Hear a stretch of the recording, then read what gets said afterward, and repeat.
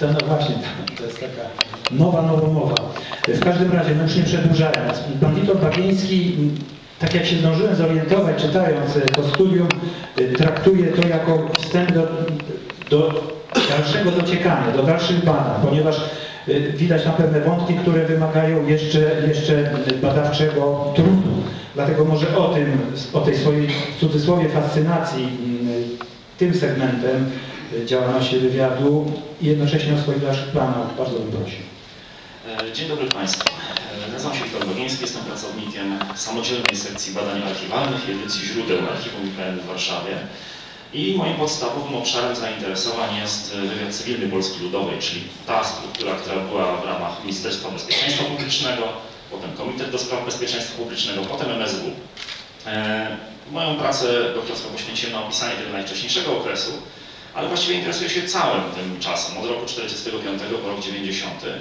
I ta tematyka działalności e, wywiadu wobec środowisk podziemia, szeroko pojętej opozycji, to była tematyka, która się w różnych miejscach pojawiała i była otoczona taką tajemnicą i zarazem to było traktowane jako takie wątki sensacyjne.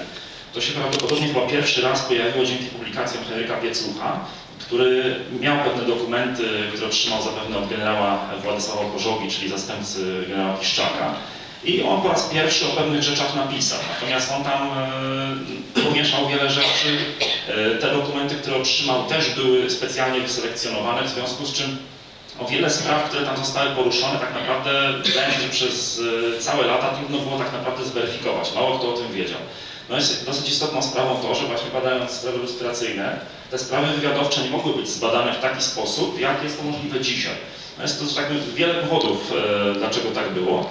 E, Natomiast podstawowym źródłem, które umożliwia rozszyfrowanie tego, kto był kim, to są tak zwane protokoły brakowania, czyli takie dokumenty, które mówią o tym, jakie materiały zniszczono i co zawierały. E, Razem z anegdotem zrobiliśmy taką tabelę, gdzie zestawiliśmy e, informacje z tych protokołów dotyczących głównych kategorii spraw, e, mniej więcej od okresu wyborów czerwcowych do momentu, kiedy zniszczono ostatnią z tych spraw. I zestawiliśmy to w taki właśnie ciąg.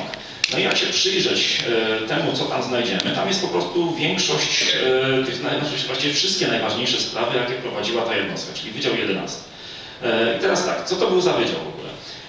Wywiad już w okresie właściwie zaraz po wojnie interesował się przede wszystkim polską emigracją i Polonią. Początkowo oczywiście to chodziło o rząd RP na uchodźstwie. Z czasem w latach 60. doszły do tego e, takie instytucje jak e, Sekcja Polska Radia Wolna Europa, Paryska Kultura, ale ta jednostka zajmowała się też na przykład e, trockistami, maoistami, syjonistami tak zwanymi. W każdym razie to była szeroko pojęta tematyka tak zwanej, mówiąc tym resortowym językiem, dywersji ideologicznej. I w latach 70. do tego wszystkiego doszły kwestie związane na, tak na większą skalę, ponieważ w 60. oczywiście też tym się interesowano, to znaczy przerzuty literatury bezdebitowej do kraju. E, Później pojawiła się jeszcze kwestia oczywiście sprzętu. E, No i w momencie, kiedy wprowadzono stan wojenny, tak naprawdę to wszystko ruszyło z kopyta. To bardzo wyraźnie widać po tym, jak zakładane są kolejne sprawy na kolejne środowiska e, na uchodźstwie. No i wywiad bardzo aktywnie działał e, na wielu polach. I teoretycznie wydawało się, że wywiad jest jednostką, która działa wyłącznie za granicami, natomiast działalność Wydziału 11 pokazuje, że nie do końca.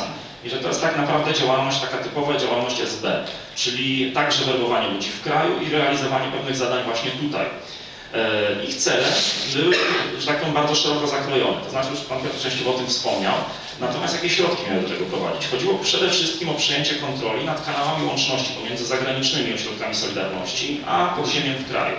Dlatego, że właśnie tamtędy szły pieniądze, sprzęt, y, literatura oraz w ogóle informacje. W związku z czym e, wywiad skoncentrował się przede wszystkim na zorientowaniu się, kto e, działa jako kurier bądź łącznik, E, I te osoby w szczególności starano się, mówiąc też resortowym językiem, rozpracować. W swoim artykule opisałem część z tych historii. Niektóre z tych nazwisk były, że tak już znane. Część myślę, że nie aż tak bardzo. E, I tak, te sprawy jest bardzo trudno opisywać, ze względu na to, że w roku 89-90, tak jak właśnie tutaj w tej naszej tabelce pokazaliśmy, te sprawy były i niszczone, i częściowo prawdopodobnie, dużo na to wskazuje, wynoszone poza siedzibę resortu.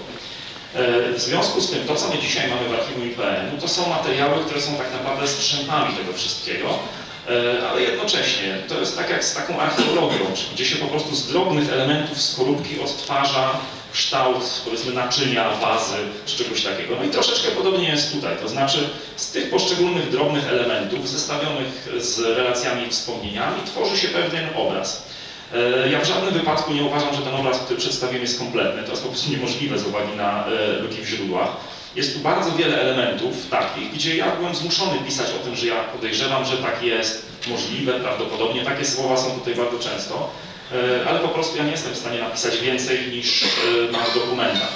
I starałem się odtworzyć tę historię, na ile, byłem, e, na ile było to możliwe w tej chwili. E, Muszę powiedzieć jedno, to znaczy jest pewna e, dla mnie zastanawiająca rzecz jako badacza, że w okresie po II wojnie światowej, kiedy e, masa istotnych osób znalazła się na emigracji, powstawała cała masa literatury wspomnieniowej, na łamach Dziennika Polskiego i Dziennika Żołnierza, Orła Białego, w ogóle pism emigracyjnych, toczyły się całe dyskusje na temat międzywojnia, 1939 roku, II wojny światowej. E, Jest dla mnie zastanawiające, że po upadku komunizmu nie mamy czegoś podobnego. Tyle osób było zaangażowanych w drugi obiekt, tyle osób pisało i jednocześnie jest tak bardzo mało wspomnień.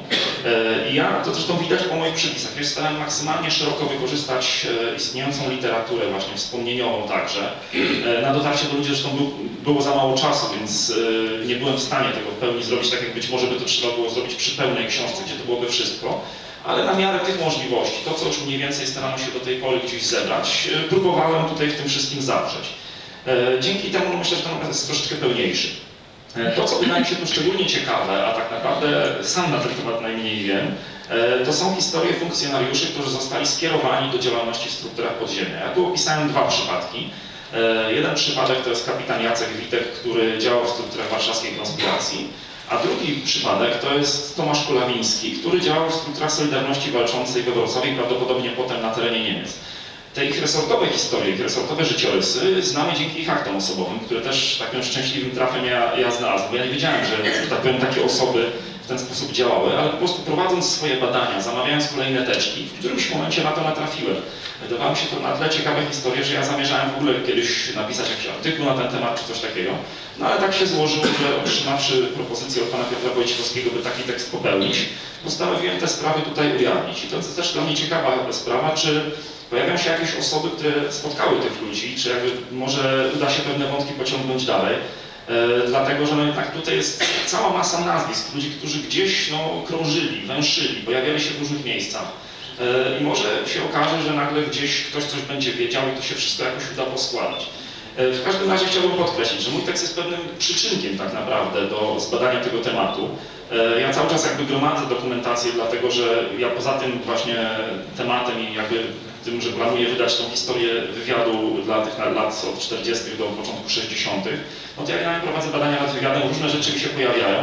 Natomiast nie wykluczam, że w którymś momencie rzeczywiście pokuszę się o napisanie czegoś większego na ten temat, dlatego że niektóre wątki, o których ja wiem, które tu zasygnalizowałem, rzeczywiście są tak skomplikowane, albo mam na ten temat tak mało informacji, że ja albo je tylko w ogóle zasygnalizowałem, albo przedstawiłem to w taki bardzo, e, znaczy w ogóle nic na przykład tutaj nie ma, no bo uznałem, że po prostu nie ma sensu wprowadzać dodatkowego bałaganu.